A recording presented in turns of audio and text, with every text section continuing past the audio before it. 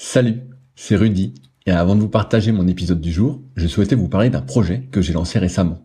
En effet, après presque un an d'existence du podcast, je me suis rendu compte de quelques manques entre guillemets concernant certains sujets qui pourraient aider à mieux performer.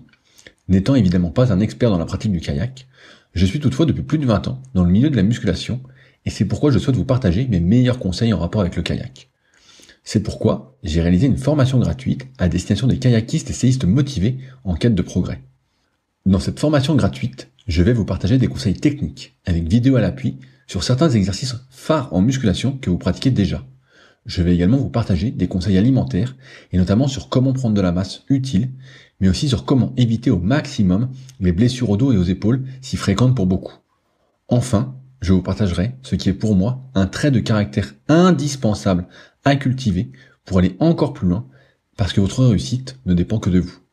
Si vous êtes intéressé par cette formation gratuite, cela se passe directement sur le site www.secretdukayak.org en renseignant votre email dans la petite pop-up présente sur la page d'accueil qui apparaît moins de 5 secondes après que vous soyez dessus.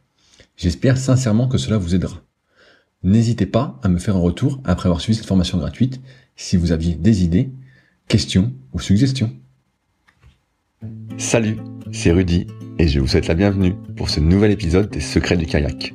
Le but de ce podcast est de vous partager ma passion du kayak de course en ligne et de partir à la rencontre des champions.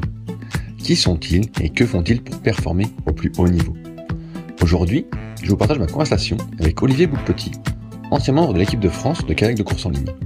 On revient sur ses débuts en descente, son passage en course en ligne et surtout sur l'art de se relâcher, ce qui avec le recul lui a manqué pour performer plus.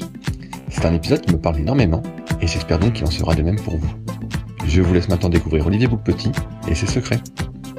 Salut Olivier, comment ça va aujourd'hui? Bah, ça va bien, on est au championnat de France, il fait beau, les courses se passent bien, une bonne ambiance. Donc moi je suis, je suis ravi, c'est une ambiance que, que j'apprécie, je vois tout le monde, voilà, les anciens, les petits jeunes, et euh, c'est vraiment une, une belle énergie. J'apprécie d'être là à Vichy. Qu'est-ce que ça donne pour toi, pour l'instant, ces championnats? Eh ben voilà, moi donc j'ai changé il y a pas longtemps de club. Hein. J'étais dans un club à Libourne, voilà, qu'on j'avais contribué à, à, développer. Puis je suis au club de Bordeaux, donc c'est une petite dynamique qui, qui redémarre dans ce club-là. Et, et, moi je cours euh, en vétéran, j'accompagne un petit peu les, les, les, jeunes qui découvrent ce championnat. Et donc j'ai j'ai fait euh, j'ai gagné sur le 200 mètres il y a, trois jours, je crois. J'ai fait deuxième sur 500 mètres et puis ce matin, on a dû faire sixième, je crois, en K2 euh, par radio. Et euh, donc voilà, pour moi, ça se terminait par, par cette dernière course. Comment ça marche le paraduo Et ben donc on a une personne en paracanoë, enfin un paracanoë, donc qui a un handicap euh, plus ou moins lourd selon euh, selon les personnes, et donc qui court avec une personne valide. Donc voilà, et moi j'avais ce rôle-là, et donc j'étais avec un, un collègue de Bordeaux là, un, équipier. C'était la première fois qu'on faisait les championnats de France ensemble, et je pense qu'il y en aura d'autres. Tu étais déjà monté avec lui à l'entraînement pour voir un peu ce que ça donnait? Ouais, ouais, ouais, on a fait des tests, on a bien goûté à les températures de l'eau. J'étais ambitieux, je pensais qu'on pouvait prendre un bateau un peu instable, mais bon, lui, il, a, il est quand même euh, bien handicapé, hein, il est paraplégique, et c'est très difficile pour lui de gérer l'équilibre. Et donc, on a pris un bateau beaucoup plus stable, et notamment pour Vichy. je pense que de toute façon, on pouvait pas faire autrement. Et là, ça va mieux. Et voilà, on était monté un petit peu ensemble avant. Combien de fois tu t'entraînes en, ce moment en tant que t'es quoi, vétéran 2 Vétéran 2, ouais vétéran 2, 44 ans, ben moi, mon, mon rythme, c'est deux séances par semaine. Ah oui, c'est pas beaucoup? Non, non, non, mais après, il y a des moments où j'essaie d'en rajouter une troisième, une quatrième, euh, quand je peux. Mais voilà, sur l'année, j'essaie d'être à deux. Et puis quand il y a des échéances, si je peux rajouter une troisième bateau, un footing, euh, voilà. Et parce que tu bosses beaucoup à côté? Bah, je suis prof. T'es prof de quoi? Prof des écoles, euh, donc c'est on va dire que je bosse plus ou moins. Enfin, bah, euh, je pense que s'occuper des petits, c'est quand même un sacré boulot, en hein. préparation énergie, et puis en, ouais, en, niveau psycho, ça, voilà, ça, ça, ça prend de l'énergie, euh, ouais, ouais, psychologique. Et puis, euh, et puis voilà. Bah après, je prends aussi du temps pour encadrer au club, et ça, je le compte pas comme une séance, puisque bah, j'encadre des débutants euh, une fois par semaine, et parfois, je peux remplacer une deuxième fois. Donc ça, voilà, je passe du temps sur l'eau, mais euh, bah, à faire des ronds, à apprendre à des gamins à pagayer. Euh, et, et, voilà. Mais ça, j'estime pas que c'est une séance d'entraînement, mais c'est une séance de kayak. Comment tu as commencé le kayak alors? Raconte-moi tout. Ben moi, c'est c'est marrant parce que c'est mon c'est mon frère qui m'a amené au kayak, mais mon frère qui a trois ans de moins que moi. Pour moi, j'étais féru de sport. Euh, j'ai fait du foot, du tennis. Euh, voilà, les sports, on va dire très très classiques quand j'étais quand j'étais gamin. Mon frère faisait du kayak et euh, il me dit ah c'est trop bien le kayak, tu devrais venir. Et je disais ouais le kayak c'est bien l'été pour pour s'amuser, mais c'est pas vraiment un sport, c'est un loisir. Et il me dit ah non non, je dis ouais moi ça m'intéresse pas. Et puis un jour, en fait, euh, il y avait mon cousin qui était là, et puis il a dit ouais, viens, on y va quand même euh, avec euh, voilà, avec ton frère Benjamin, on va aller voir son club. Et là, quand j'y étais, j'ai vu que c'était pas les bateaux plastiques que j'avais dans mon imaginaire. J'ai vu des bateaux en, en carbone, Kevlar carbone, profilés. Je dis ah ouais, c'est quand même pas mal. Et puis bah voilà, euh, le jour d'essai a été direct, euh, le grand plongeon. Euh. un vrai plongeon au sens strict du terme. Ouais, ouais dès le premier jour, hop, bah il y avait en plus des cadres au club qui bah, qui ont la fibre compète et puis qui ont tout de suite vu que j'étais assez sportif et qui ont dit ah tiens essaye un bateau de descente. Moi je suis tombé à l'eau, mais ah t'as quand même de l'équilibre, t'as l'air d'avoir de la force, toi viens, tu vas voir, tu pourras t'éclater, être fort. Je dis ah bon, vous croyez? Bah moi ça a fait rêver le gamin que j'étais. Et donc, bah, j'ai foncé et j'ai fait que ça direct. Tu avec quel âge? J'avais 14 euh, ans, je crois, 13 ou 14 ans. Enfin, ce qui correspond à fin de minime 2, début de KD1. Ouais, bah c'est ça. Dans l'été, euh, dans l'été qui voilà, qui fait passer de minime 2 à KD1, j'ai attaqué, euh, on va dire en début d'été, et du coup pendant l'été, je suis venu plusieurs fois au taquet, taquet, taquet, et puis dès la rentrée, je faisais les premières courses. T'as commencé directement en bateau de descente ou t'as vu des petits bateaux euh, directeurs pour prendre les manœuvres de base ou... Bah moi, mon club de, de départ, hein, qui est le club de Lagny-sur-Marne, euh, voilà, avec la famille Viseur, qui, qui sont les personnes qui, qui m'ont formé. Serge Viseur notamment, euh, c'était un club de, c'était des slalomers.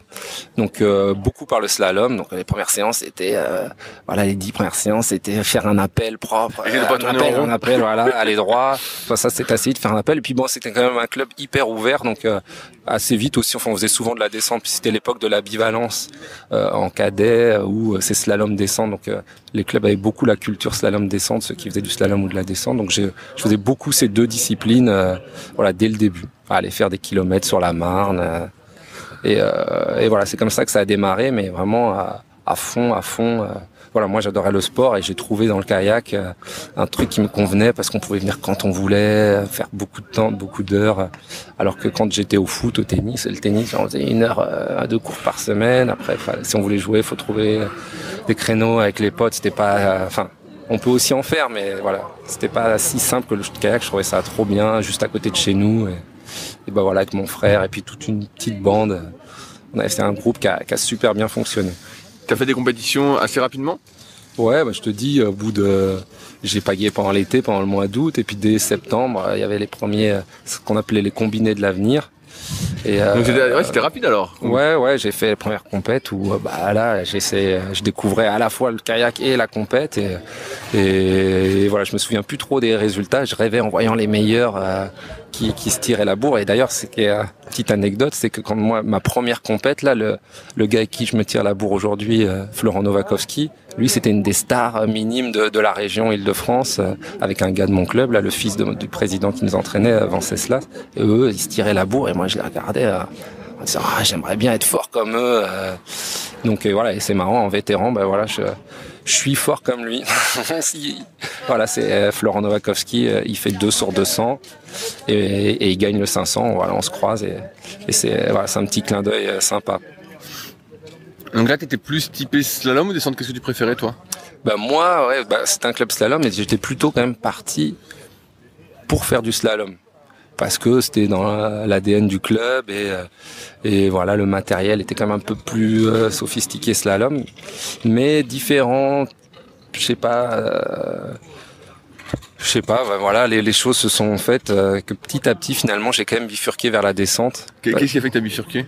Bah, Je pense déjà, j'avais des capacités physiques qui, arrivaient à s'exprimer plus vite, plus simplement en descente. Enfin, voilà, notamment quand c'est assez plat, bah, je pouvais euh, voilà mettre beaucoup de force, d'énergie. Et, puis j'avais beaucoup d'endurance grâce au foot, notamment. Voilà, j'étais assez fort dans les crosses et tout. Donc, euh, donc en descente, bah, voilà, sur des courses de 15-20 minutes sur le plat, j'ai vite progressé et puis j'avais du plaisir à voilà, m'exprimer. Euh, et, euh, et puis aussi, il y a un gars qui s'appelle Franck Fifi, je sais pas si tu as déjà entendu parler de lui, qui fait, voilà, maintenant, qui fait pas mal de, de stand-up paddle, de surf ski, qui, qui a un Guadeloupe, qui, euh, qui était, bah voilà, un, un, junior très fort du club et qui, bah, qui était un peu aussi pour nous, qui a été une locomotive en fait. Il arrivait au club juste après moi. Et euh, bah, c'était un gars qui jouait les podiums en junior, en descente, et en fait qui a créé toute une dynamique. Euh, et c'est quelqu'un qui donnait beaucoup, enfin qui aimait bien entraîner, qui avait la fibre à partager, et, du coup qui a attiré pas mal de, gars comme moi du club vers la descente. Alors qu'à la base, on était plutôt censé, avec notre entraîneur, notre président, aller vers le slalom. Euh, ça s'est fait naturellement, super bien. Et puis bah voilà, petit à petit, j'ai j'ai lâché le slalom euh, avec euh, les résultats qui venaient en descente et, euh, et voilà. C'est venu à partir de quand ces résultats en descente? Eh ben voilà, en, en, cadet, tu vois, j'avais fait 27e et 27e, 27e en slalom et 27e en descente, donc c'était vraiment pile poil le même niveau en KD2, sachant qu'en KD1, j'avais pas réussi à me sélectionner au championnat de France la première année.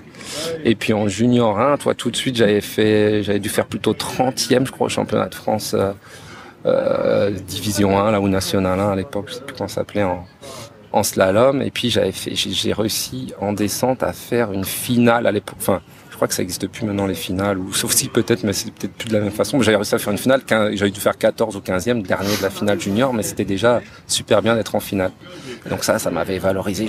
J'ai fait une finale en junior 1 et puis bah junior 2 j'ai complètement arrêté le slalom et j'ai fait que ça en essayant de me sélectionner en équipe de France junior descente, mais j'étais un petit peu derrière quand même. À ce moment-là, tu t'entraînais combien de fois par semaine? Toi qui l'air d'être mordu de sport, est-ce que tu y allais tous les jours? Est-ce que tu étais à fond, à fond, à fond? Ouais, j'étais à fond. Hein. J'essayais de faire le max que je pouvais. Puis euh, avec la culture de mon du coin, parce que on avait un club qui essayait de, nous donner beaucoup, mais il y avait encore personne qui faisait vraiment du haut niveau dans ce club. Donc euh, s'entraîner beaucoup. Euh, déjà à la base, on s'entraînait cinq fois par semaine, c'était beaucoup. Alors que je vois aujourd'hui dans certains clubs, euh, ils peuvent s'entraîner deux fois par jour. Euh. Mais bon, voilà, j'avais au lycée, j'ai bah, mon, mon, président et sa femme là, ils ont ils ont mis en place un partenariat avec un, lycée quand même.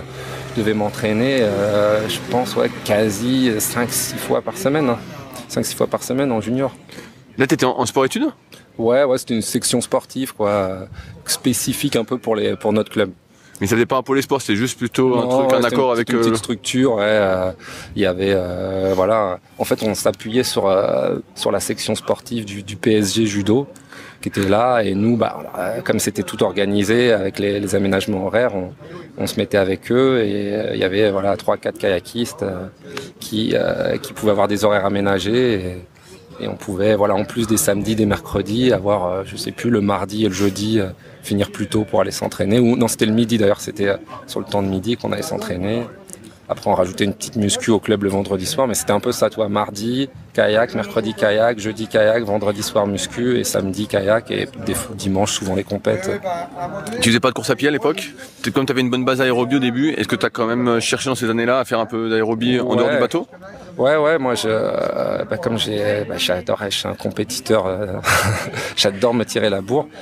Bah, ce que j'avais pas compris au foot, je l'ai compris au kayak. Quand tu fais un sport individuel, ça change tout. Hein. Tu te dis, ah ouais, comment je peux être performant? Au foot, je détestais la prépa physique. Euh. Alors par contre, sur le terrain, je pouvais courir comme un, acharné pour essayer de gagner. Mais quand il fallait courir sans ballon, je dis, ouais, ça me gave.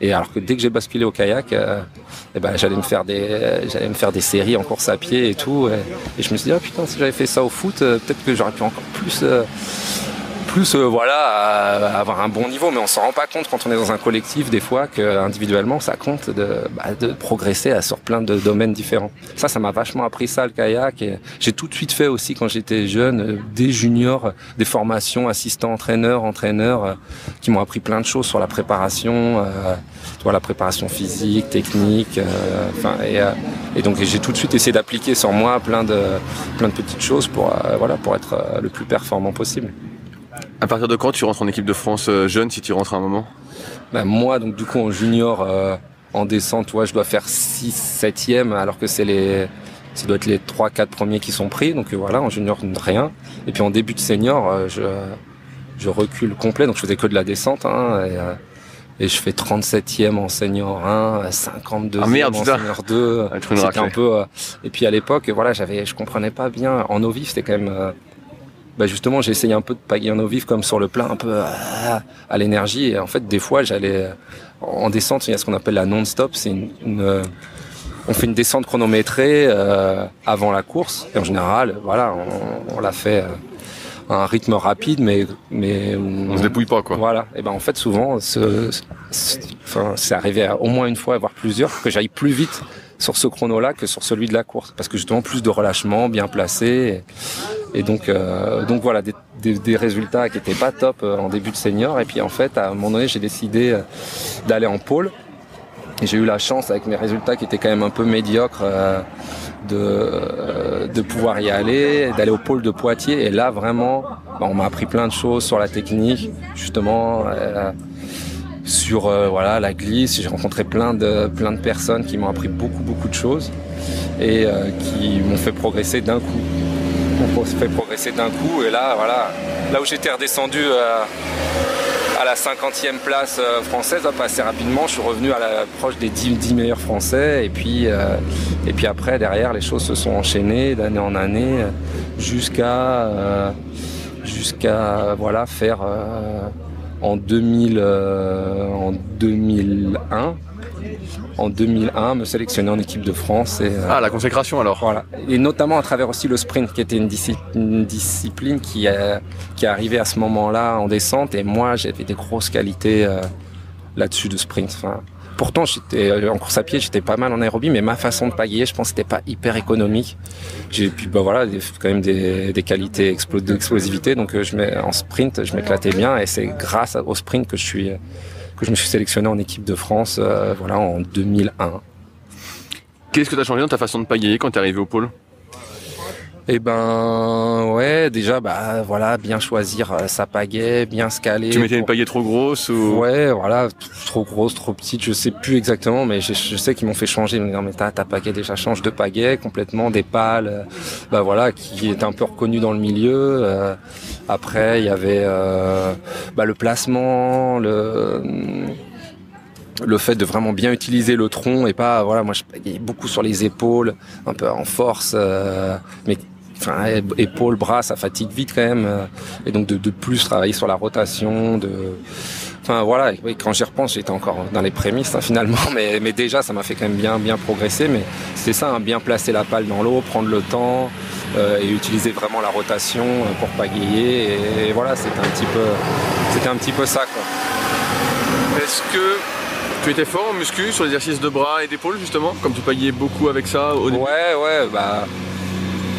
J'étais assez fort en muscu, notamment en biceps par exemple. Euh, en plus, ce qui reste beaucoup dans le milieu, c'est que moi, j'ai vite gonflé. Enfin, quand j'étais un peu, j'étais un petit, euh, j'ai envie envie de dire, euh, un petit Africain tout maigre quand j'étais ado, assez grand. euh, et en fait, quand j'ai commencé la muscu, notamment au pôle, parce que j'en faisais au club, j'en faisais une fois par semaine, euh, voilà. Et quand j'ai commencé au pôle à en faire euh, trois fois par semaine, et ben les, un peu le- la phrase qui revenait avec les potes, c'est dit Olivier, il a juste à regarder les barres et il gonfle. C'est-à-dire que j'ai pris du volume, volume euh, musculaire énorme, donc c'était impressionnant. Et après en muscu, j'étais pas si fort que ça, parce que tu vois.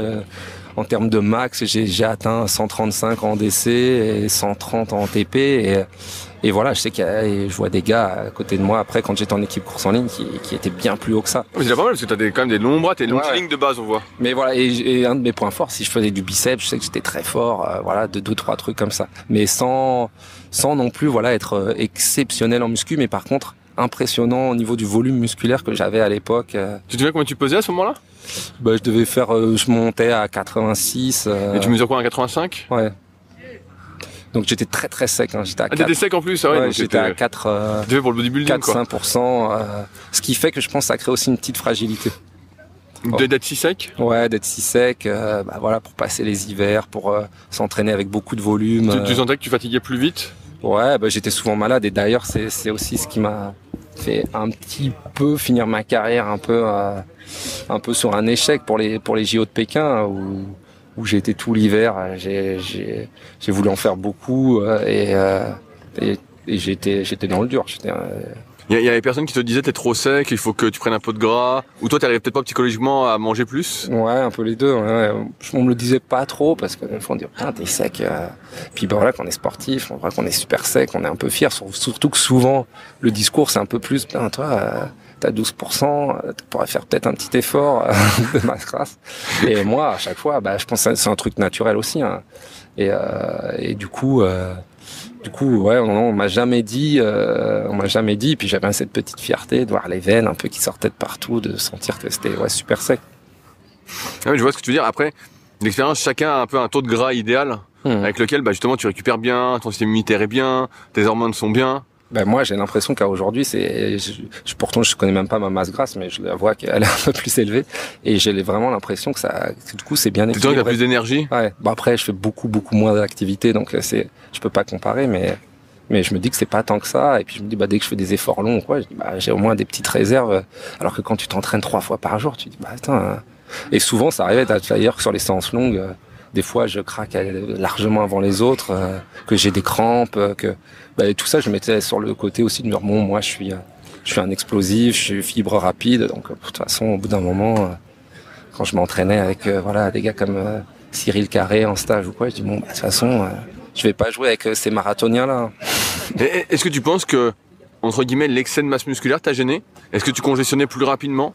Tu vois, tu me parles du long. Forcément, plus t'as de muscles, plus ça demande un coût énergétique important. Est-ce que tu penses que ça t'a pénalisé? Je pense pas. Enfin, j'ai jamais pensé ça et je pense pas. Et tu vois, on me l'a jamais dit sous cet euh, angle-là. Et peut-être ça peut même poser des questions. Ah ouais, parce que ça pourrait faire ça, peut-être. Euh. Ouais, bah, déjà, il y avait une étude il y a longtemps dans, Sport et Vie qui montrait justement que les coureurs kenyans, comme ils avaient moins de moins de mollets que les coureurs danois, ils avaient comparé les deux. Bah forcément, à chaque foulée, ils dépensaient moins d'énergie en fait. Mmh. Et donc, bah sur le long, euh, ça jouait à fond si t'as 100 grammes de moins ou 200 grammes de moins à porter, sur du long, tu le sens, quoi. et en bah plus, tu congestionnes moins, ça demande moins d'ATP. Bah, c'est possible que sur du long, enfin, voilà. En plus, je détestais à l'époque le marathon, tout ça. Et je pense que peut-être ça, ça joue. Bon, je pense aussi que mon coup de pagaie était peu économique, comme je le disais, même si j'ai progressé, je pense qu'il y avait encore beaucoup, beaucoup de... Qu'est-ce qu'il avait ton coup de pagaie? Eh ben, bah, je Tu vois, t'avais appris la rotation, tout ça, donc ça devait aller. Ouais, mais, euh ben, je pense que quand même je mettais je mettais des watts dans l'eau. Et alors que je pense qu'avant de mettre des watts c'est quand même bien de sentir sans force ce qui se passe presque. En mettant le moins de force possible comment j'avance. Et, je pense que ça j'ai ça m'a manqué peut-être à un moment donné.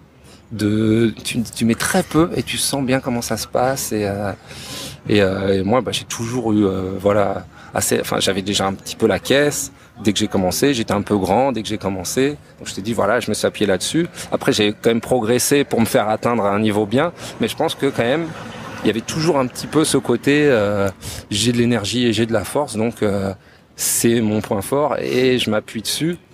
Parce que si je l'enlève, euh, qu'est-ce qui me reste? Et du coup, avec maintenant beaucoup de recul, je me dis à un moment donné, ouais, bah, ça aurait été bien de l'enlever pour peut-être justement mieux réutiliser après cette force. Et, et je trouve que j'ai encore bien beaucoup appris et je pense que j'ai encore à apprendre, hein, mais à sentir mon coup de pagaie, à sentir euh, une espèce de d'efficience, tu vois, pour que justement dans les efforts et même les efforts courts, tu vois, à tenir, t'arrives à finir un 200 bien, t'arrives à finir un 500 euh, correctement, quoi. Quand tu rentres en équipe de France senior de descente, est-ce que tu fais des championnats du monde et des championnats d'Europe? Euh, donc moi, voilà, 2001, je me sélectionne, je fais des coupes du monde à cette époque-là. Bon, en plus, ça, ça avait bien marché parce que euh, la deuxième course que j'ai fait, j'ai fait un podium en sprint. Toujours, voilà, le sprint c'était mon truc, donc euh, ça, voilà, c'était c'était un tremplin super là. C'est ces courses de sprint qui me réussissaient plutôt bien. Et la deuxième année, bah, moi, toute ma carrière un peu qui a été courte, mais c'était un peu fait de haut et de bas. La deuxième année, sélection équipe de France, je me sélectionne pas. Ah merde. L'année suivante, et j'ai la entre guillemets, pour moi la chance et là ma chance pour pour un pote de l'équipe qui s'est blessé et du coup j'ai été pris en en tant que remplaçant au championnat du monde de 2002 en Italie, donc j'ai pu participer à ces championnats du monde et, et faire une septième place honorable, même si j'étais à l'époque on additionnait les temps des deux manches et j'étais deuxième à l'issue de la première manche. C'était la grosse surprise euh, parce que parce que voilà, moi j'étais arrivé un petit peu en tant que remplaçant, euh, un peu à la dernière minute et, et du coup je pense sans pression. Et puis à la deuxième manche par contre, il y avait la pression quoi. là il y avait la pression et là bah, j'ai un peu navigué un peu comme un sac et et voilà avec le stress et tout et bon je fais septième ce qui était déjà quand même correct et, et en fait euh, bah, avec ses qualités de sprint et, on va dire cette progression assez rapide à, ce moment-là de ma carrière. Il y a le DTN de l'époque et des personnes un peu de l'encadrement qui m'ont dit ah mais tu devrais essayer la course en ligne. Et puis j'avais un pote Boris Saunier que tu pourrais interviewer aussi, euh, qui avait fait double champion du monde cette année en 2002, qui était vraiment, euh, qui gagnait tous les sprints en descente au niveau international, qui était vraiment énorme.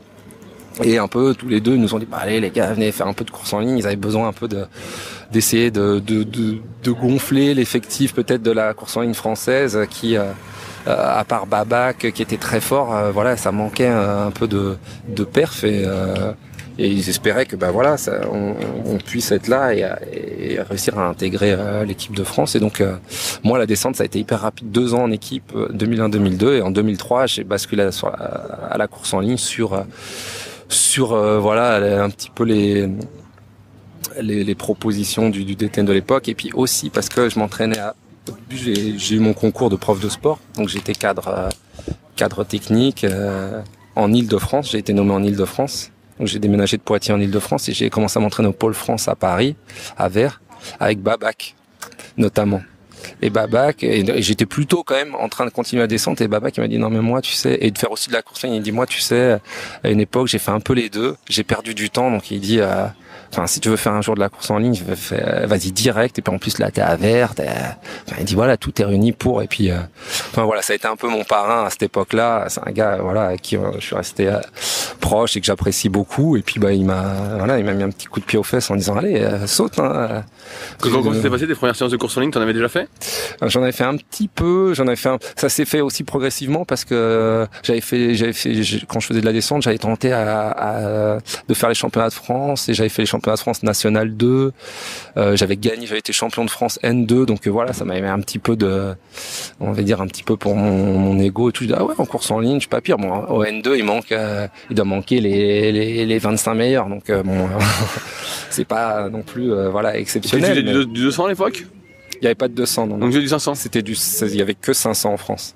Donc euh, voilà, j'avais gagné les France 500 en, National 2 et puis j'avais participé au N1 où je faisais, euh, voilà, je devais faire 30 et quelques français, 30e français. Et euh, mais voilà, donc j'en avais fait quand même un petit peu. J'en avais fait quand même un petit peu, mais c'était enfin voilà c'était pas propre c'était bah justement là j'étais pas stable donc je bloquais vachement le bassin tu vois, tout en force ce qui fait que je pouvais prendre des bons départs et puis après je voyais tous les ligneux. Ah, arrête d'être trop crispé pour te détendre et poser quoi. C'était impossible.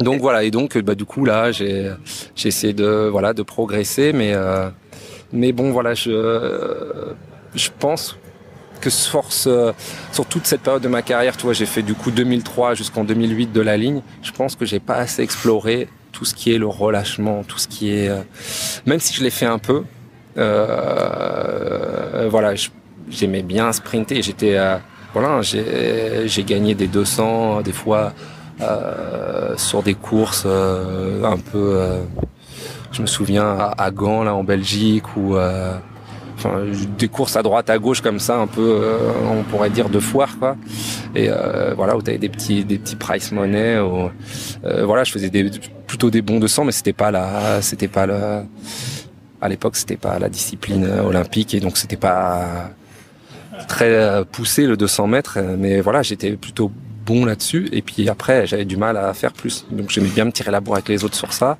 Et, euh, voilà, et notamment bah, avec moi quand j'ai vu les gars comme Max, comme Arnaud, euh, Ibois et tout, après atteindre leur niveau sur 200, j'étais content de dire non, moi à l'époque, en tout cas, quand j'en faisais, bah, je me tirais la bourre avec eux. Et, j'aurais bien aimé aussi faire partie de de l'époque où le 200 est olympique, mais ça veut pas dire que j'aurais continué à progresser comme eux l'ont fait.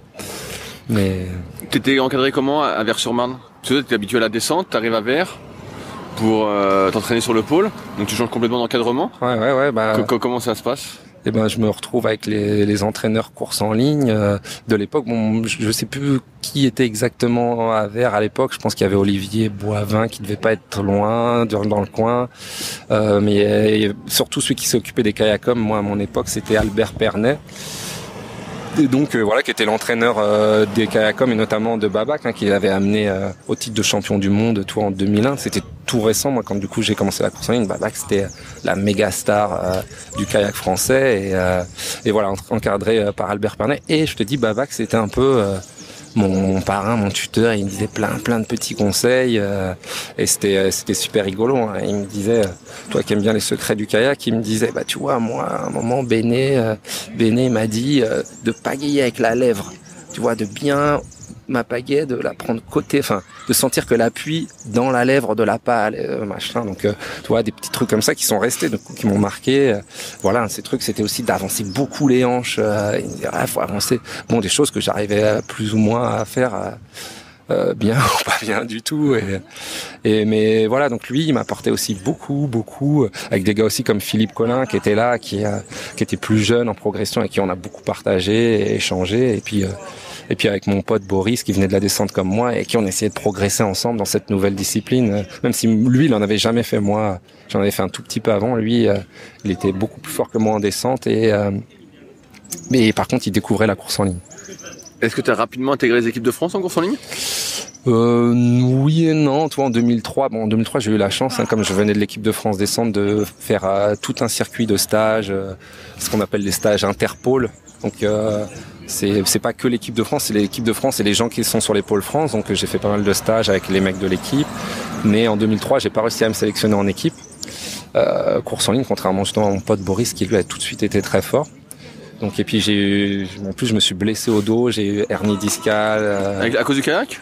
Ouais, de la muscu, je pense qu'il y a des choses que je faisais peut-être euh, justement bah, un peu en force. Un peu euh, tu vois, bah, hernies enfin L4, L5, L5, L5 et 5. Ah, les deux? Ouais, les deux des belles hernies, euh, mais bon. Est-ce que tu as été opéré?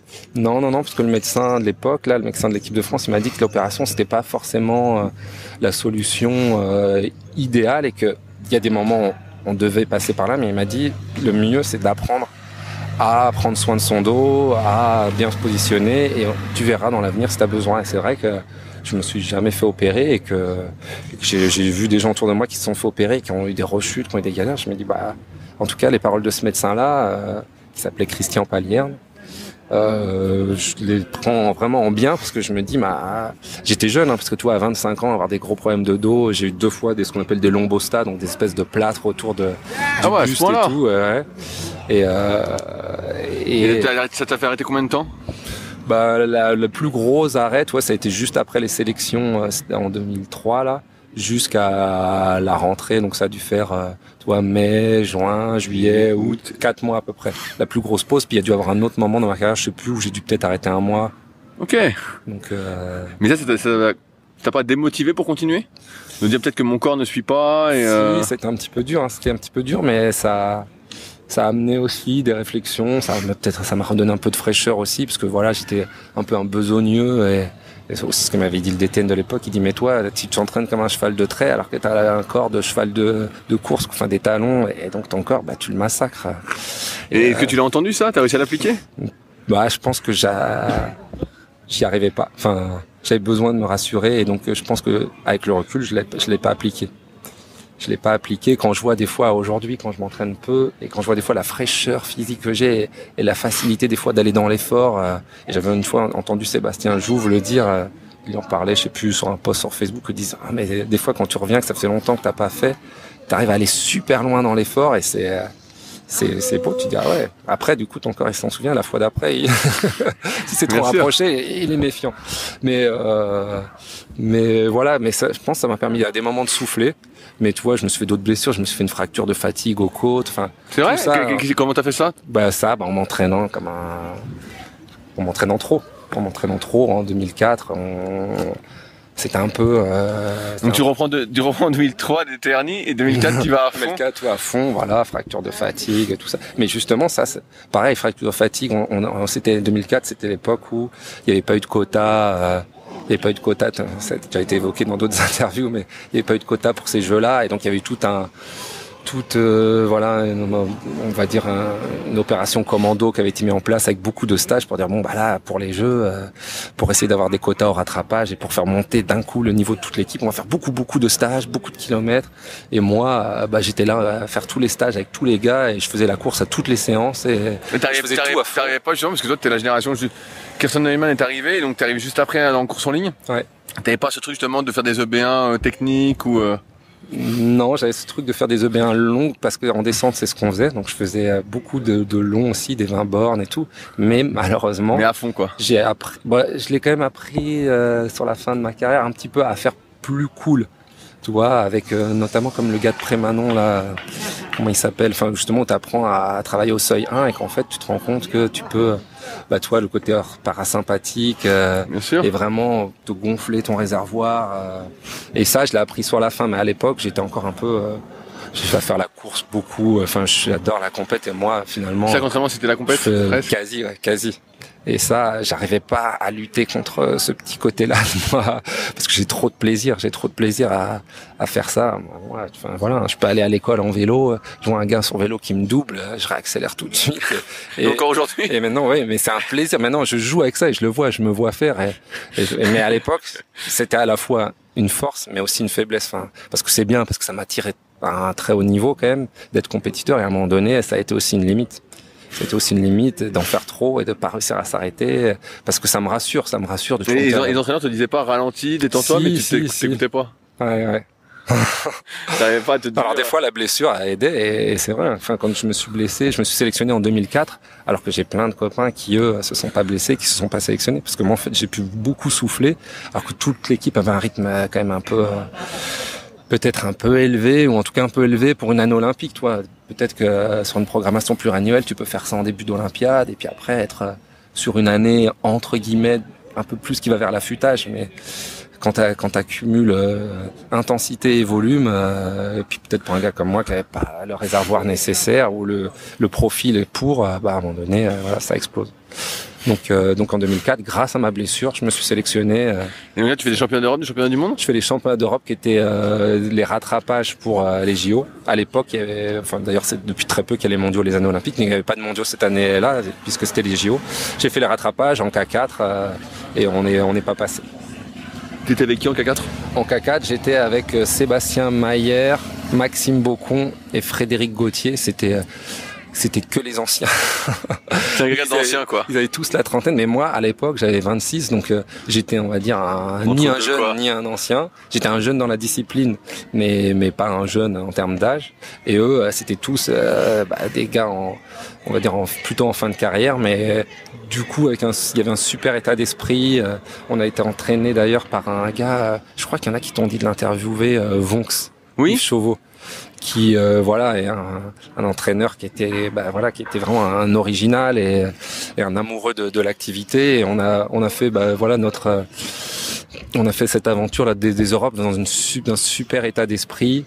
Et on était des outsiders. On savait qu'on n'était pas favoris hein. puis en équipe ceux qui avaient la pression bah, c'était euh, c'était les potes Babac Philippe Collin qui étaient un peu les grands leaders. Et et nous, bah voilà, on a, on a pas réussi à sélectionner, mais on, on, a en tout cas vécu ça, voilà, avec le sourire et, et peut-être que des fois on pouvait passer un peu pour euh, pour les gars qui étaient pas sérieux, mais je pense que voilà, on essaie de faire quand même bien, mais sans se prendre la tête à ce moment-là, parce que euh, je pense qu'on avait besoin de ça. On avait besoin de, de décompresser un peu d'une année qui était euh, voilà, qui était un peu lourde en termes de pression.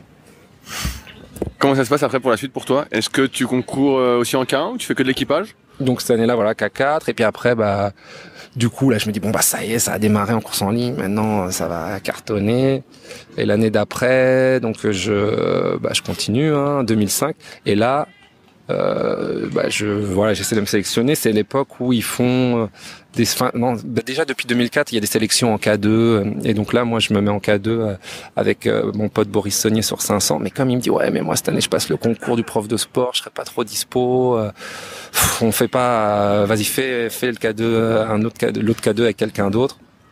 Du coup, j'ai fait le K2000 avec Nicolas Mayotte, euh, avec qui on parlait hier. Euh, et, euh, et, cette année-là, en fait, déjà, ils ont annoncé avant les sélections que ceux qui seraient sélectionnés en Coupe du Monde, tous ceux qui ont plus de 26 ans, il fallait qu'ils fassent, je sais plus, dans les cinq premiers à la Coupe du Monde ou un truc comme ça.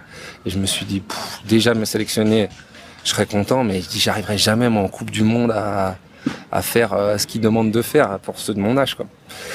Et, euh, et en plus me sélectionner c'était déjà pas gagné. Et, euh, et, bon ça a été bah, ça a été une année extraordinaire parce que euh, avec mon pote Boris qui était censé être un peu moins fort cette année-là on a gagné les sélections en K2 on a fait premier alors qu'on n'était pas favori et c'était Babac et Philippe Collin qui avait gagné largement les sélections l'année d'avant, qui, qui, avait survolé les sélections, qui, qui, était censé être devant nous, même si Baba qui avait fait une grosse pause, donc il était voilà, il était un petit peu il était un peu moins fort que l'année d'avant, mais, mais bon, voilà, nous, on a, enfin voilà, ça a été extraordinaire. C'est quoi, K2 500, K 2000 On a gagné le K2 500 et moi après, en plus, j'étais un peu euphorique. Je me suis dit, avec Nico, on va, on va exploser, on va gagner le K 2000. Bon là, ça n'a pas été le cas. Il y a, il y a Jouve et Sébastien Jouve et Cyril Carré qui étaient quand même bah, deux jeunes qui étaient euh, qui avaient un niveau extraordinaire. Et puis ça s'est vu après avec leur perf et leur maintenant le palmarès qu'ils ont. Et, ils ont tous les deux plusieurs titres de plusieurs titres de champion du monde, mais euh, qui ont gagné le K2000. Avec Nico, on avait fait deuxième. Et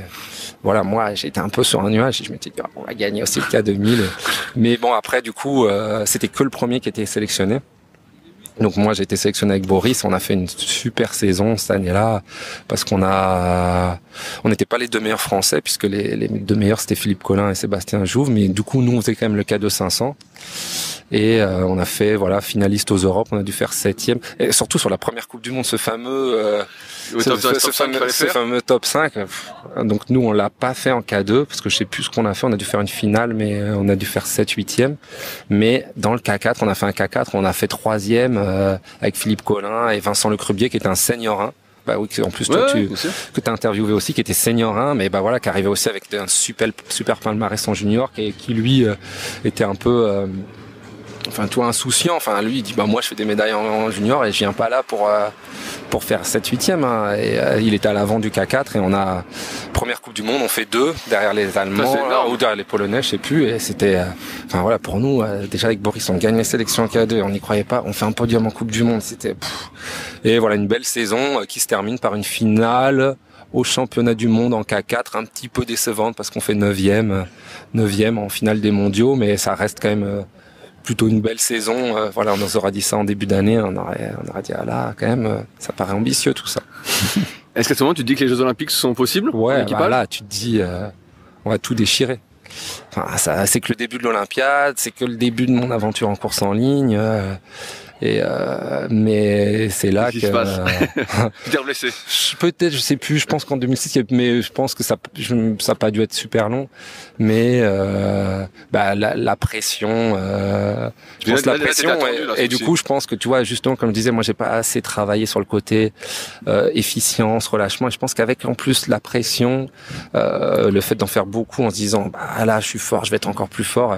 J'étais attendu et là, bah dès 2006, je fais des mauvaises sélections donc, euh, bah, tu vois, le un haut, un bas. Là, j'ai pareil. Moi, j'ai eu de la chance dans ma carrière parce que j'étais pas sélectionné. Mais quand même après, ils m'ont récupéré parce qu'ils ont dit bon, Olivier, il peut peut-être être quand même pas mal. Euh, il a fait des trucs, il s'est un peu foiré aux sélections. Ils m'ont récupéré. J'ai fait un, j'ai fait un K4 cette année-là. Après au championnat du monde, euh, qui a été moins bien que l'année d'avant puisqu'on a fait, on a, on a dû faire 3 quatrième de la finale B. On n'a pas réussi à aller en finale. Et puis l'année suivante, on remet ça. Là, c'était l'année des quotas olympiques. Voilà, alors. Et là, je fais plutôt des belles sélections. Et donc, je fais un K2 avec Arnaud Ibois.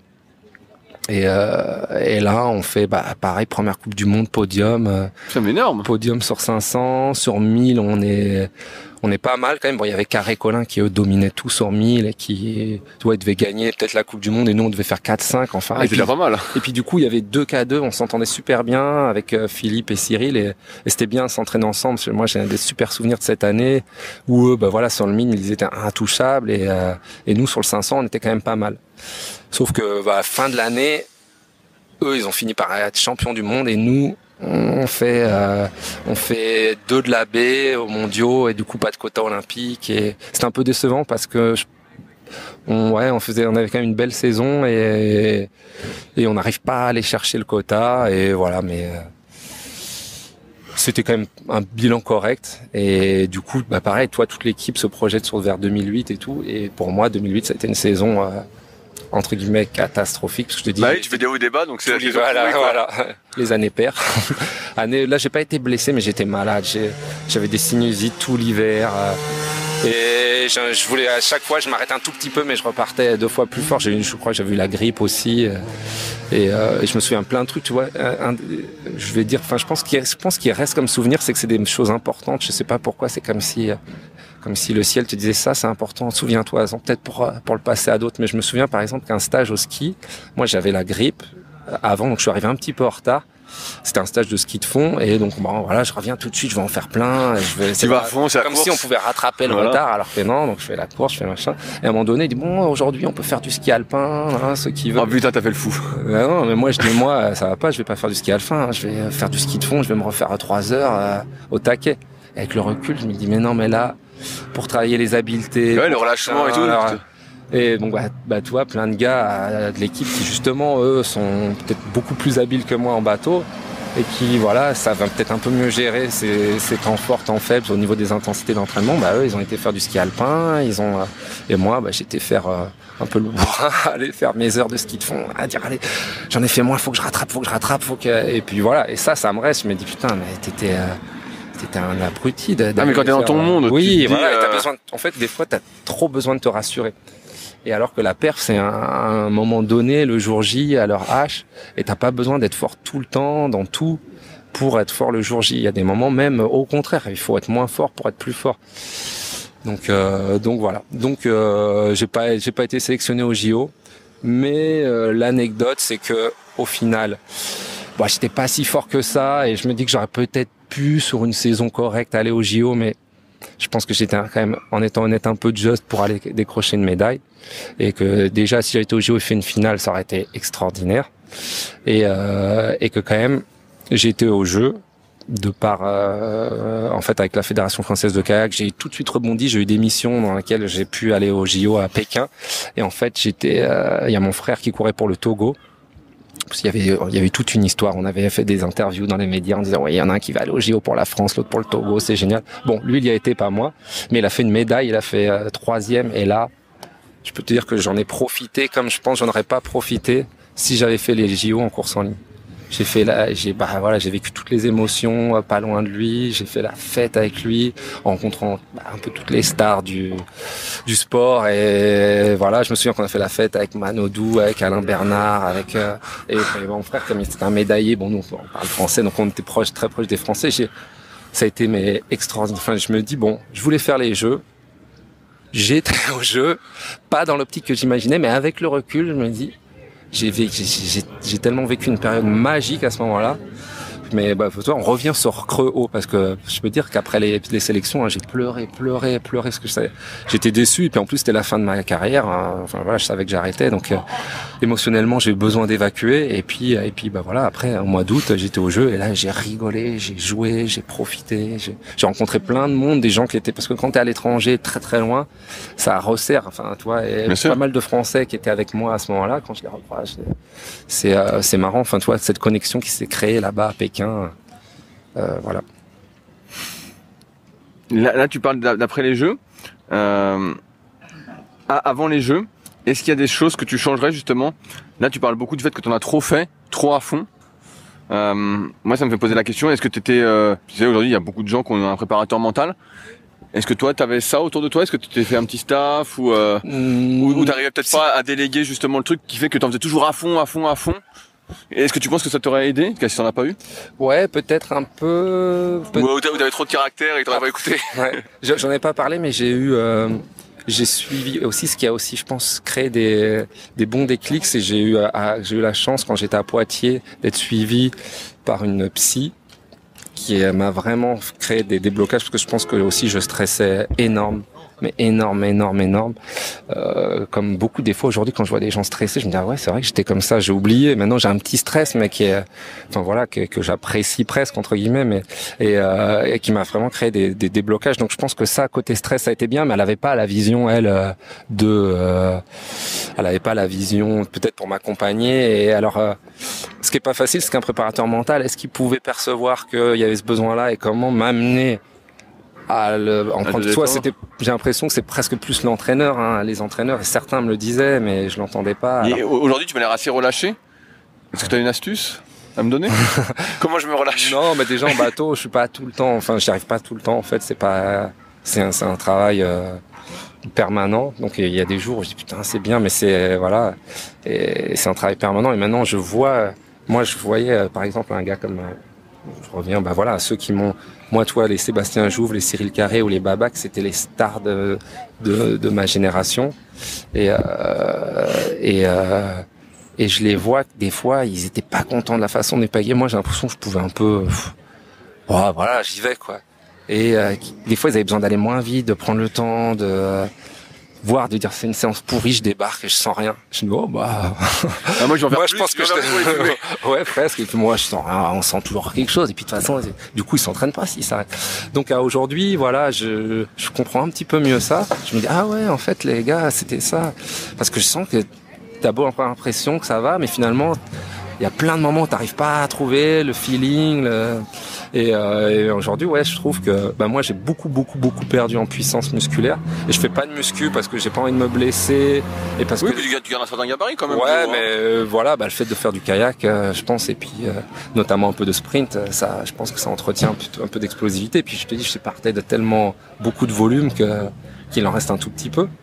Et mais d'avoir beaucoup moins de force et ben je trouve que ça m'aide à chercher cette peut-être fluidité, relâchement et euh, et alors peut-être qu'il faudrait trouver des trucs qui coupent la force à des mecs. Mais tu vois, Gabriel que j'avais interviewé, Gabriel Tuleux, elle disait justement elle, parce que je lui en parlais, elle me disait, euh, me dit t'as commencé, t'étais trop fort et moi justement bah je suis un peu, peut-être comme hmm. toi, en exagérant un peu. Hein je me compare, euh, je sais pas sympa quoi. Mais euh, ouais, moi j'ai envie de bourrer comme un fou quoi. et bah, je vois que je crame pas, et je vois que ça avance, je vois le chrono et je dis bah je bourre, je bourre. Et elle me dit mais dis non, elle me dit en fait quand tu commences et que t'es déjà fort, t'arrives pas à apprendre euh, justement cette fluidité, ce, la, bonne technique parce que t'as toute la force et tu vois que tu vas vite et t'arrives pas. Maintenant j'y arrive un peu plus, mais justement à faire des séances un peu tranquilles où t'es que sur la technique ou t'as envie, même si c'est un EB1, t'as envie de te dire bah voilà moi je vais entre 12 et 13, je dis bah voilà si je descends en dessous de 12 je remets un coup quoi. Même si c'est une séance technique, je me dis, alors pas moins de 12. C'est pas, bah, pour mon ego, bah, je me dis, c'est pas possible. Je comprends bien. je me dis, c'est pas possible, je vois le truc. Je dis, moins de 12. Je dis, ah non, je recommence.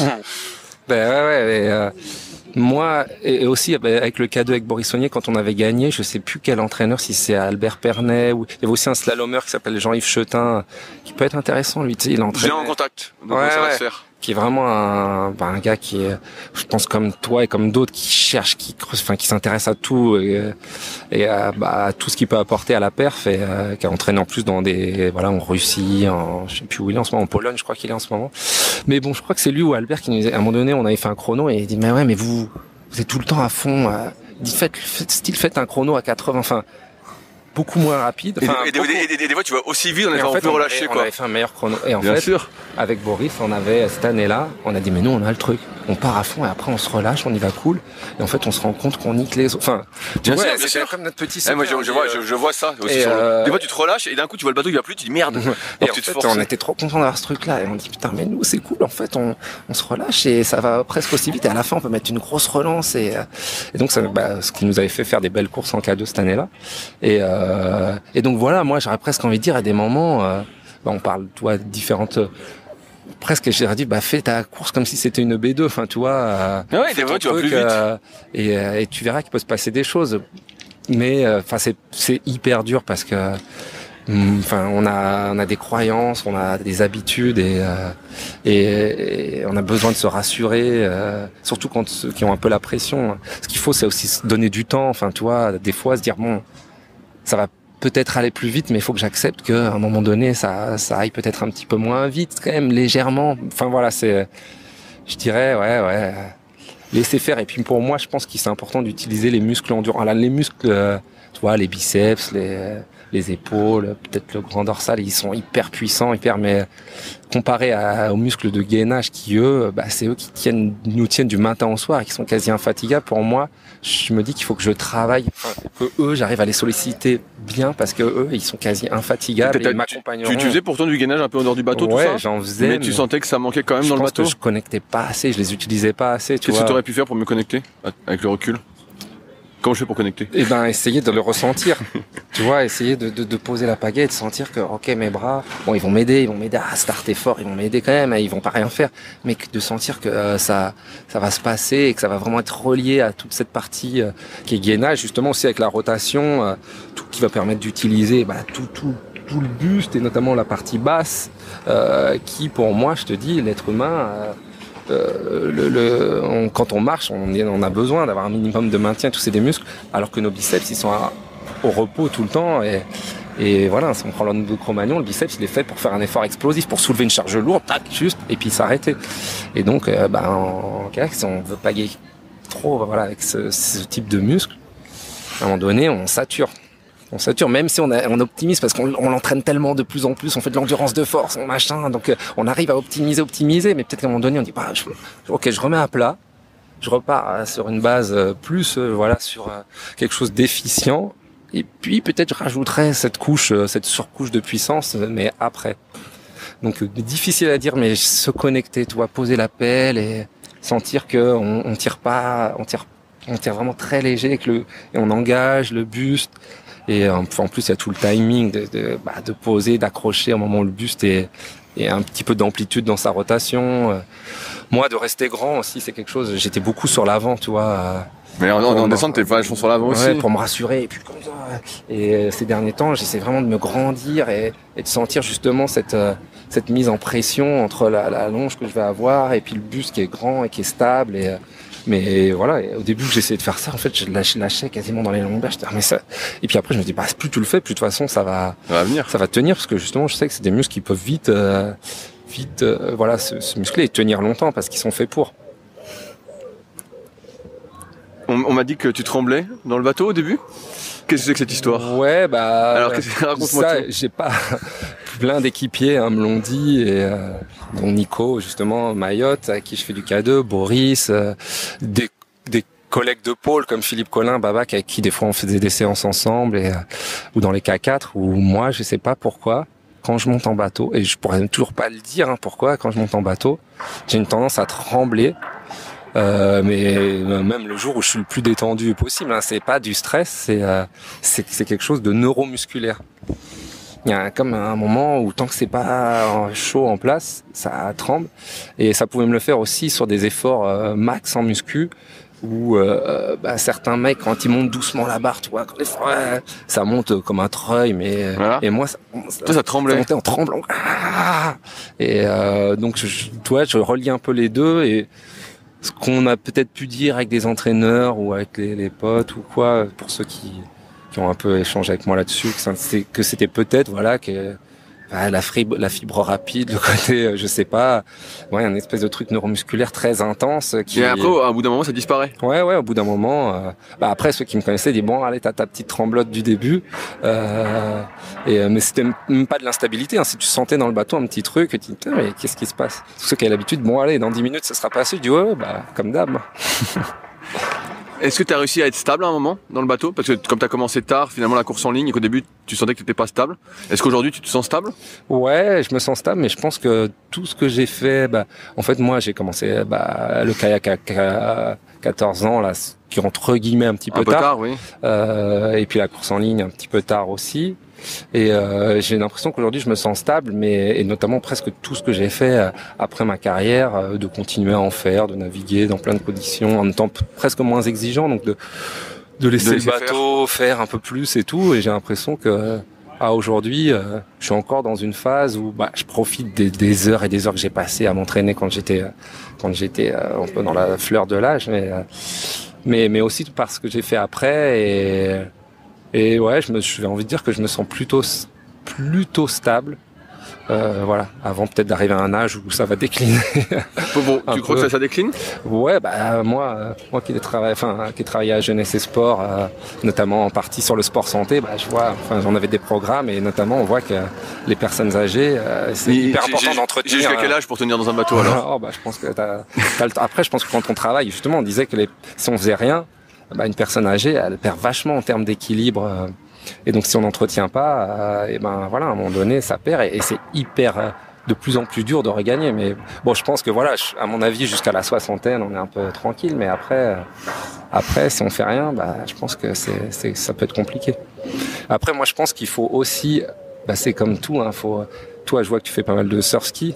Ouais. Je pense que ça doit être dur pour toi d'accepter d'aller en course en ligne et dire putain mais moi je galère. Ah, bien sûr oui parce qu'en fait moi j'ai l'impression que ça roule ça roule ouais. ça roule quoi. Il faut trouver le juste milieu des fois entre notre envie de progresser. Bah, ça fait comme toi en fait. Et notre envie de se faire. C'est le plaisir. Enfin, c'est vrai je vais dans le course en ligne donc dans un truc débutant. Et tu vois le truc qui avance pas quoi. Ouais, ouais. Et je me dis putain mais j'avance que dalle et je me dis bon euh, alors que la l'autre je commence à bourrer comme un fou. Et, moi, c'est comme aussi des fois, tu vois, je me dis, si j'étais à un certain niveau, quand je m'entraîne un peu à Bordeaux, euh, je vais toujours chercher le coin à l'abri du vent et tout, euh, ah parce que j'ai envie d'avoir des sensations et que je suis à un âge aussi où j'ai envie que ce soit agréable, de faire plaisir. Et mais je sais que euh, si à un moment donné je voulais bien entretenir justement ces qualités d'adaptation et tout, il faudrait que j'aille un peu plus dans tout, dans toutes les conditions, que j'aille un peu chercher sur une séance, bah, le vent de travers, dans phase d'eau, machin. Je dis allez moi fait chier maintenant j'ai un âge où euh, bah, je te dis je fais plus de muscu parce que est-ce que, tu fais dans une salle euh, moi à des moments là il y a quelques années je faisais un peu de traction et pompe. Euh, mais euh, c'est aussi parce que je pouvais je m'entraînais quasiment plus en bateau parce que j'ai repassé un, j'ai, toi j'étais prof de sport puis j'ai repassé le concours pour être prof des écoles et je, j'avais beaucoup d'heures de prépa et j'allais plus m'entraîner. Et du coup, je faisais un peu de pompe, des abdos quasi tous les jours. Je me disais, bon, au moins, tu fais. Euh, tu maintiens un petit peu. Euh, mais voilà, donc, euh, mais ça, j'ai, j'ai arrêté. J'ai arrêté. Alors, des fois, je me dis, bon, peut-être qu'il faudrait que je fasse. Quand, comme tu as eu deux, deux hernies, est-ce que tu fais des trucs au jour le jour pour pas avoir mal au dos? Des étirements. Tu fais beaucoup d'étirements tous les jours? Ouais, étirements, notamment sur les jambes, c'est ce qu'on c'est ce que j'ai appris. bah, parce que voilà, moi, à partir du moment où j'ai eu ma hernie, pendant toutes mes dernières années, pendant 4-5 ans, je voyais le kiné pour moi, c'était obligatoire de voir le kiné une fois par semaine. C'était une séance, quoi. Je savais que, et ça, ça me, coûtait aussi, parce que je disais, putain, là, je peux pas m'entraîner, parce que je vais au kiné, je vais à l'INSEP, machin. Mais, euh, mais c'était quand même essentiel. Là, je savais que si je passais pas par là, certainement que mon dos, il allait relâcher. Donc, ils m'ont bien appris que les étirements, c'était hyper important, et notamment, est-ce qu'on peut-être on pense pas tout de suite, mais notamment des membres inférieurs, parce qu'ils en fait, euh, bah, toi, es, en plus, t'es tonique, t'es fessier, t'es lombaire, euh, t'es tes ischios, tes, tes quadris, ils, tirent, ils tirent sur la base de ta colonne, et si tu les relâches pas, bah, ça met tout en tension. Ouais, ça te bloque le bassin, et après, euh, ton dos encaisse tout, quoi. Voilà, en plus, j'ai un, voilà, un morphotype avec une, lordose hyper Ouais, ouais, t'as une grosse cambreuse, À l'africaine. T'as quoi aujourd'hui comme matériel pour t'entraîner? T'es avec quoi comme pagaie et comme bateau? Bah alors ça, euh, non, je sais pas. je suis un peu, bah, j'ai un vieux bateau, j'ai un Plastex, euh, un Midas, euh, Midas 2. Putain, c'est vieux ça. Ouais, c'est le bateau qui a été champion du monde en 2006. Ok. Avec un Polonais que, voilà, qui devait s'appeler Twarzowski, je crois. Que moi, voilà, c'était pareil, j'idolâtrais un peu. Je dis, mais il a gagné, tu dis, tu veux le même. Le même bateau, puis à l'époque, Plastex avait quand même une belle place, contrairement à aujourd'hui. Et, euh, et puis en fait, c'est un bateau dans lequel je suis super bien. Après, pourtant, j'ai eu d'autres bateaux, même en tant que compétiteur. Quand je faisais, parce que ça, c'est un bateau, c'était le bateau de mon avant-dernière année. Et en fait, après, je suis revenu dessus parce que je suis trop bien dedans. C'est comme un chausson. Pourtant, il est un peu vieux. Il y a des petites cassures, il y a des trucs, il est rayé, mais je suis super bien dedans. Je suis super bien dedans. Donc, j'ai ce bateau-là. J'ai euh, euh en pagaie. Alors là, je suis dans une expérimentation. Ah, Dis-moi tout. Parce qu'en fait, il s'est passé un truc, c'est que j'ai une, énorme pagaie que j'avais acheté à l'époque. Euh, c'est l'équivalent de la grosse une. Donc, euh, ok, donc c'est une 820 ou 825 Je connais même pas les surfaces. Parce ok, que ça va être 820 ou 825 Donc la, la une, mais qui va être la une max. Enfin, ok. Donc, euh, c'est-à-dire que je pense même sur le 200, Maxime, je pense pas qu'il ait ça. Je pense qu'il a la une normale. Ou... Bon, enfin voilà. J'avais cette pagaie là, puis un jour j'avais cassé ou j'avais oublié ma pagaie. J'ai utilisé cette pagaie pendant une ou deux semaines, il y a trois, trois ans, trois, quatre ans. J'étais super bien avec. Et puis du coup, je dis bon, c'est quand même une grosse pagaie. Je vais reprendre une pagaie un peu plus petite, mais plus grosse que celle que j'ai d'habitude. Parce que sinon, je suis plutôt en bêta, en bêta. Comment ça s'appelle? C'est chez Gentex, sinon en bêta. Ouais, chez Gentex, il y a la bêta large et en dessous, c'est la. C'est une large minus. Non, non, j'avais. Euh, en dessous? Ouais. Ok, donc c'est médium plus. Alors. Ouais, j'avais, j'ai une médium plus. J'étais plutôt médium plus. Donc médium plus et 7,80. Ouais, donc j'étais plutôt médium plus, mais du coup j'étais réparti avec ma grosse. Et du coup, bon, je vais revenir avec la large, normale, tu vois. Et en fait, je la trouvais super grosse. Je dis, non, mais pourtant, avec la, la grosse, la large plus, j'étais bien. Et je prends juste la large normale et je la trouve trop grosse. Bon, du coup, je repasse avec ma médium plus. Et, hein, et, euh, les choses, euh, voilà, le hasard faisant, je me retrouve une fois sans pagaie et je repagaie avec la grosse. Et à nouveau, je me sens, quand même, c'est super bizarre. Je me sens quand même bien. Pour je me tu réglais pareil en termes de longueur Non, non, justement, bah, je savais même pas quelle longueur. Et du coup, je dis, bon, bah là, je me sens bien, j'écoute mes sensations. Je pagaie avec. Donc l'été dernier, je suis parti avec, donc une pagaie qui Et puis je me suis dit bon allez, je fais le marathon avec parce que comme ça, je verrai si c'est possible de pagayer avec. Et j'ai fait le marathon et avec une pagaie. Mais à l'époque, on m'a dit tu vas faire un marathon avec ça. Je dis mais t'es vraiment un abruti, mais c'est pas possible. mais je me dis voilà. Je, ah, je voulais leur montrer de toute façon. Non mais là, là c'est presque un mois. Je dis mais on a plein de croyances. Je dis essaye. Et ça c'était Fargi. Il était, il arrêtait pas de dire mais moi je comprends pas. Vous faites pas assez d'essais. Oui mais moi aussi je trouve qu'il y a pas beaucoup d'essais. Euh. De thèses, de prendre, de regarder moi, je teste tout. Hein. J'ai moi j'ai si six pagaie. Franchement je teste. Et eh ben moi vu ce que je fais là avec le peu de force que j'ai, enfin peu de force par rapport à l'époque, avec cette pagaie, je me dis qu'il y a certainement des trucs à à à, à tester. T'arrives à mettre de la fréquence? Plus ou moins, mais je pense que euh, je pense que j'en mets moins, j'en mets moins. Donc c'est un style un peu différent, mais euh, et peut-être qu'il me convient. T'arrives quand même à être relâché, comme c'était ton problème? Non, ouais, bah justement, des fois, quand je pense que sur la fréquence, je pouvais peut-être crisper. je pense que tu peux avoir de la fréquence relâchée aussi. Hein, c'est, mais moi, peut-être j'avais une fréquence justement un peu crispée. Et là, peut-être de prendre le temps Ouais, parce que là, si tu, tu, veux t'en servir, faut vraiment que tu prennes le temps de mettre ton appui. Le temps de, parce que là, tu peux pas, tu peux pas mettre ton appui, tu prends pas ton temps. Voilà. Mais justement, il y a des fois où je pense que le naturel revient en galop et que je vais aller un peu trop vite et, euh, et là, notamment là, ce week-end dans le vent de face, là, je me dis bon voilà j'étais euh, voilà, j'étais entre deux. Quel, quel, angle tu mets sur la pagaie? Oh, à peu près 60 euh, et, et, pour finir donc du coup avec la grosse pagaie je, je l'avais pas mesuré je l'ai mesuré que là il y a, il y a un mois donc après 10 mois d'utilisation je me dis putain quand même faut que je regarde combien elle et elle fait 2,22 alors je suis Attends, plutôt 2,22 je suis plutôt en 2,17 normalement oh, putain, j'étais 2,18 j'étais mais elle est énorme ta pagaie là ouais non mais voilà. 2,22 plus euh, donc c'est une 8,20 c'est énorme. Bon, et même euh, bah, Benjamin Hortolin de Gentex, il me dit cette pagaie, j'ai dû en vendre qu'une depuis euh, je sais pas combien d'années que je vends les Gentex. Euh. Je dis ouais, mais voilà, donc je suis. Euh, ben, si, si Dieu, pour toi, j'ai une 840 à passer. Je crois que je suis le seul à avoir, avoir acheté une quand j'ai débuté. Quand j'ai la plus grosse pagaie, donc je peux passer une 840 sur faire des tests aussi. Ouais, ouais, bah, pourquoi pas. là, là, tu sens qu'il y a de l'appui. Là, là, tu dis, oh putain. Et euh, mais bon, voilà. Sinon, j'étais plutôt en médium plus, donc je sais pas, je sais plus combien c'est. Et, 80 médium. Et en 2,18, tu vois. Ok. Mais donc là, ça fait un an que je suis dans ce, cette expérience et que. Et, tu sens pas que musculairement ça te crève plus? Bah d'habitude non, mais là sur le 500, j'ai euh, j'ai senti quand même une petite limite. Mais après, je suis des fois, bah, c'est tellement complexe. C'est vraiment, euh, c'est pour ça qu'il y a des fois on croit en train de trouver un truc et on dit bah faut faire comme ça, comme ça, et puis après la réalité nous remet vite à notre place et parce que il y a une complexité bon, entre voilà la technique, le matériel, les conditions, le mental, les conditions, euh, que que c'est super dur de de pouvoir dire bah A plus B égale euh, voilà une grosse perf et donc j'ai compris ça et ça et maintenant et après ah ouais mais ça marche pas finalement. Et donc et puis il faut être en perpétuel euh, se remettre en question perpétuellement euh, et, et bah, ça moi ce que j'ai appris c'est que Tony Estanguet il le faisait bien ça enfin il explique ouais, dans son, dans son bouquin justement il en parle beaucoup hein. peut-être zéro et que la perf de champion olympique du, de l'instant T elle est plus valable voilà, un an, deux, trois ans après. il faut, que tu progresses, exactement. Et souvent, des fois, accepter de déconstruire un peu. mais pour ça, il faut accepter de faire des séances faciles. Ouais, ouais. moi, ça, ça, c'est dur, ça. quand t'aimes trop tirer la bourre, quand t'aimes trop avoir des sensations, quand t'as besoin des fois de te rassurer, bah, c'est pas évident. Et des fois, bah, il y a certains traits qui font les champions, et moi, peut-être, j'avais certains, ça, c'est un petit défaut qui, qui m'a peut-être, euh, à des moments, barré la route à plus de perf, quoi. Est-ce qu'aujourd'hui tu as des objectifs dans le kayak en tant que V2 Moi, V2, c'est vraiment de me faire plaisir.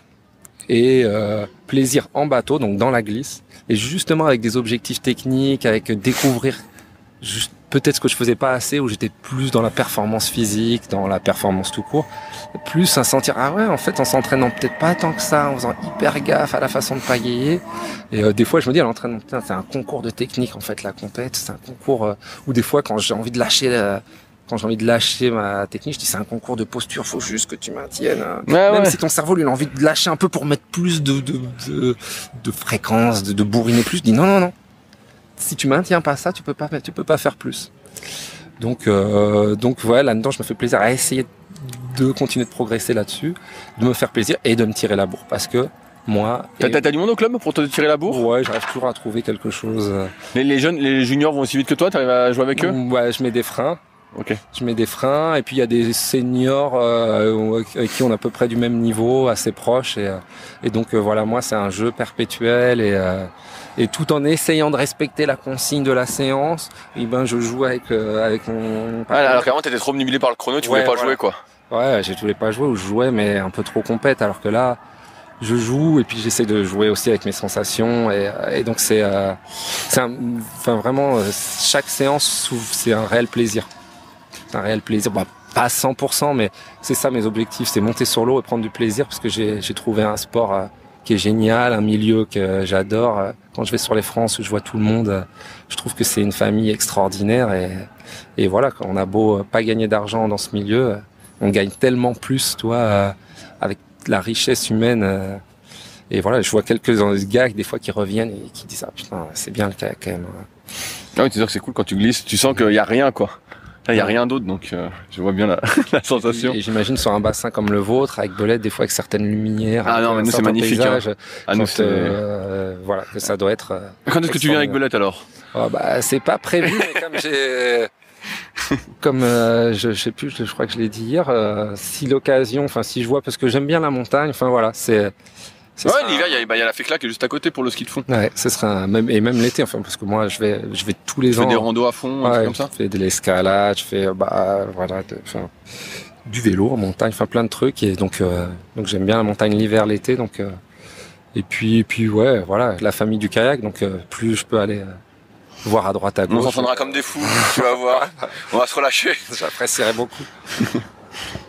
J'arrive un peu au bout de mes questions, Olivier. Est-ce que toi, tu as des sujets que tu voulais aborder, que n'as pas abordé non, mais je sais qu'à un moment donné, j'ai pensé au cours de l'interview euh, à un truc que j'ai pas dit, mais bon, que c'était parce que je laissais le flux venir. Je dis bon, ça, je sens que c'est pas le moment de le dire, mais que j'ai utilisé aussi pendant longtemps un siège euh, rotatif, justement pour me soulager le dos. Justement, avec la hernie, on dit que les gens qui ont une hernie après ils utilisent un siège rotatif. Ouais, voilà, parce pour la stabilité, on, de ce que j'entends, c'est beaucoup moins stable. Toi, ça allait?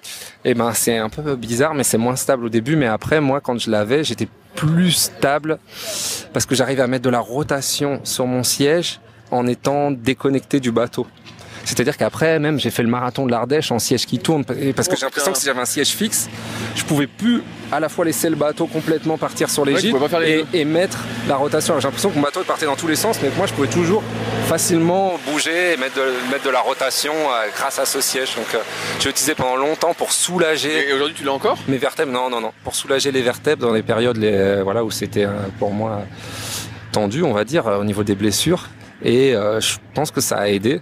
Et ça peut-être, ça m'a peut-être aussi appris à mieux me servir. Mais justement, de plus avancer, parce que là, comme il glisse un peu, tu peux plus avancer la Donc, moi, je pense que c'est un outil qui peut convenir des fois à certains carrément complète, mais un outil aussi, tu vois, pour sentir des choses. Euh, j'en ai racheté un à mon fils l'an dernier. Bon, il a arrêté le kayak, donc il a pas pu beaucoup l'utiliser. Mais du coup, j'en ai un pas loin et ça fait super longtemps que je l'ai pas utilisé. Je me dis bon, à l'occasion, il va falloir que je remette euh, pour voir un peu ce que ce que ça donne, tu vois, pour toujours être euh, ouvert et pas bloqué sur les sensations qu'on n'a pas envie de perdre parce qu'on se sent bien et qu'on va rester là-dessus. Donc voilà, ça, je trouve que c'est un petit truc, j'en vois plus trop. Oui, pas, trop, alors qu'à un moment donné, c'était une grosse mode. Bah, justement, à l'époque, moi, j'en utilisais, c'était une grosse mode. Et je dis pas qu'il faut le mettre à, à, tout prix, mais en tout cas, d'être ouvert et de tester et d'essayer. Euh, je pense que je pense que c'est pas mal. Et bah, il y a Guillaume Burger, moi, qui m'avait posé quelques questions parce qu'il a aussi des soucis moi, d'eau. J'aimerais bien aller voir son siège parce que je viens d'y penser. Dans le podcast quand j'avais interviewé, il avait un siège sur mesure lui, ouais. au moule de ses fesses. Oui, il a travaillé après J'aimerais bien voir à quoi ça euh, ressemble. Je, vais aller le trouver après. donc euh, donc ouais, ouais, pour ceux qui ont des soucis, et des hernies et tout, ça peut être euh, pour essayer de limiter les frottements, toi, sur le bas de la colonne, là, sur les, les disques intervertébraux, et que ce soit plus tout l'ensemble du bassin qui, bouge, bouge, et non juste le bas de la colonne, et que là, voilà, les, les, le, bas du dos, il prennent cher, euh, ça peut être pas mal. Et puis, puis bah voilà, faire découvrir euh, des fois la rotation. Et moi, voilà, je te dis, instable au début, mais presque après plus stable pour laisser le bateau vivre tout en mettant beaucoup de rotation. C'était, euh, c'était ouais. Enfin, à la fin, je, te dis, hein, quand j'avais décidé de faire l'Ardèche, on avait fait des tests. Je me putain, en fait, on est moins bien avec les sièges fixes. Et puis après avoir un peu coupé, quand j'ai repris le kayak, j'ai, à un moment donné, bah toi, t'es je sais pas, j'avais pas de siège qui tourne sous la main, et puis j'ai repris, et puis pareil, j'ai trouvé, tu vois, ça m'a fait changer. Putain, c'est quand même pas mal un siège fixe. Je vais faire, je vais partir là-dessus. Et du coup, bah depuis, voilà, maintenant, euh, je sais pas combien d'années, je suis, je suis en fixe et, je suis bien, je suis bien avec euh, euh, et voilà. Mais je pense que si j'avais eu toujours un siège qui tourne, je, je serais pas repassé en siège fixe. Alors je pense que j'ai retrouvé des sensations aussi hyper intéressantes dans ce type de siège. Enfin, tu vois, voilà, les allers-retours. Les, euh... je pense qu'il n'y a pas de vérité. Et moi, à un moment donné, j'ai fait aussi beaucoup de force endurance dans ma carrière. En 2007, notamment, ça m'a bien fait progresser. Et après, j'étais style, ouais, il faut faire tout le temps ça. Et mais je pense que ça se trouve des fois le corps il a besoin de vivre autre chose, de repasser par autre chose, et puis peut-être pour y mieux y revenir euh, plus tard. Euh, et que, enfin voilà, on croit qu'on a une vérité, et puis. Euh, la vérité change. En, fait, le temps nous met une petite claque et il dit bah non, la vérité d'hier, c'est pas la vérité d'aujourd'hui, hein, mon gars. Donc il faut être à l'écoute et voilà. Moi, Bon, et puis maintenant, et, et, les trucs de ces derniers temps aussi pour moi, pour conclure en tout cas, c'est je, je, suis aussi vachement dans la mouvance du développement personnel et tout, donc c'est vachement s'écouter, être dans le dans l'instant présent, tu vois, un peu de méditation, respiration. Et, c'est ça qui fait que t'es relâché alors. Ressentir, ouais, bah ça ça joue. Même si je te dis, je pense pas que je suis euh, encore l'exemple du relâchement, mais euh, mais en tout cas plutôt cool et essayer d'être relâché, ouais. Et, et, de se sentir bien et de, bah, de relativiser plein de choses, d'apprécier d'apprécier des choses hyper simples, tu vois, des couleurs, des, des odeurs, un échange, euh, un échange riche. Je suis vachement là-dedans, quoi. Je suis vachement là-dedans et donc euh, ça, ça fait du bien. Enfin, tu vois, avec ces nouveaux yeux entre, entre guillemets, je redécouvre aussi plein de, plein de choses, des personnes, des moments euh, et, que j'arrive à apprécier vachement. Voilà. Bah, merci pour ton temps, Olivier. Euh, bah, T'as plus de courses, là, c'est fini? Non, non, pour moi, ouais, fini, euh, fini. Euh, j'apprécie beaucoup regarder les courses aussi, et, j'aime bien ne pas être trop pris par les courses. Quand j'arrive à avoir les deux, tu vois, juste pouvoir courir et puis regarder et regarder, euh, c'est top. Et donc là, quand j'ai voilà, j'ai eu deux courses en mono, une course en en paraduo là, et de pouvoir regarder, j'aime bien regarder les jeunes. Voilà, j'ai aussi une grande, on va dire c'est une de mes passions aussi d'éduquer. Enfin, tu vois, je suis prof en petite section maternelle. J'ai toujours aimé aider dans les clubs euh, les gamins qui progressent. Et donc. Euh... Et alors la main sup, quelle hauteur euh, bah, la... la... question piège. Je, je sais pas, il faut je trouve comment bien formuler la phrase, mais la hauteur qui te convient. Enfin, tu vois, je dirais euh, la, la hauteur qui convient le mieux à la personne. Et, c'est Xavier qui avait parlé de Bigrel. Euh, oui, bien sûr, de François Bigrel. Tu vois, de la, de la, complexité, enfin de... les, trois, niveaux de la performance, je crois, c'est le titre. Et euh, de, de Morin, enfin de, de dire en fait que tellement pas de vérité que que c'est bien quand même d'avoir des références quand même, mais qui permettent de donner un petit peu une direction, mais qu'après c'est tellement individuel euh, et de laisser la place à, au fait que que chacun est extraordinaire à sa façon et que et que ça se trouve, il y en a un et il fait partie des 10% qui lui est, hors norme et, et qu'il faut qu'il faut que sa main sup elle soit très basse ou très haute et enfin voilà donc euh, la, la main sup en tout cas c'est c'est la hauteur euh, qui te convient à toi et ça se trouve c'est haut ça se trouve c'est bas ça se trouve c'est devant les yeux mais bon voilà. À, tester. Regardez les repères, enfin les, les, repères, on va dire euh, bioméca qui, qui sous-tendent un peu euh, ça. Quoi. Enfin, et là, plutôt de qu'est-ce qui fait que le bateau il avance, euh, bah, qu'une pale elle, elle, a une force résultante qui va vers l'avant, mais ni vers le bas ni vers le haut. Et que souvent on dit qu'une main qui descend, c'est certainement une pale dans l'eau qui soulève de l'eau et qui fait que le bateau il va de haut en bas, mais pas d'avant, enfin d'arrière vers l'avant. Donc euh, bah, souvent ce qu'on veut, c'est avoir une, résultante euh, pour le bateau vers l'avant et donc une pale plutôt verticale et donc c'est la main qui se fixe pour que pour pas qu'elle descende avec le manche. Monter, je pense que c'est pas quelque chose qu'on peut voir. une main qui monte pendant le coup de pagaie, bon, je serais, curieux de voir ça, mais souvent, elle a tendance à descendre. Et, et bon, en tout cas, je dirais plutôt une main, à partir du moment où la pale est, entière dans l'eau, bah, une main qui se fixe à, à la hauteur, à la hauteur euh, optimale pour chacun. Il va super. Merci encore de ton temps et puis on va aller voir les courses. Ouais, c'est parti. On entend que c'est reparti là, donc on va aller profiter. Salut à tous. Ciao Rudy. Si vous êtes encore là, c'est que l'épisode vous a plu. Dans ce cas, je vous invite grandement à m'aider à faire grandir ce podcast en mettant une note de 5 étoiles et un commentaire d'encouragement sur l'application de podcast où vous l'écoutez et plus particulièrement sur l'application podcast d'Apple. Cela m'aidera d'autant plus à accueillir les meilleurs kayakistes français grâce à la crédibilité que vous me donnerez. Enfin, vous pouvez retrouver la retranscription écrite de cet échange sur www.secretdukayak.org. En attendant, laissez glisser et à la semaine prochaine.